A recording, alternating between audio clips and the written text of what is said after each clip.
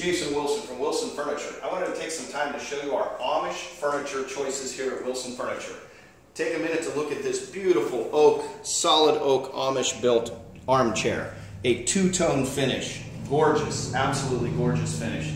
And look at this tabletop right here. This is a table and six chairs, has a leaf in it. You could seat six to eight to 10 people easily. And I can tell you, if you have this table in your house, you will never put a tablecloth on it.